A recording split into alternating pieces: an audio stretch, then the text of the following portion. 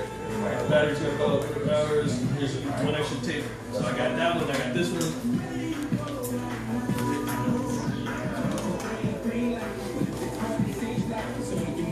It's set up real close. It's set up at a f-stop of two point four. So uh, Alright, you got your, camera, you got your camera assignments. There's four cameras here. So Steven, uh, get on camera one. This will be, uh, if he has it. It'll be one, two, three, four. Okay, but just keep it on that shot. He's gonna be, he's the one that's gonna be switching back. One likely one of these.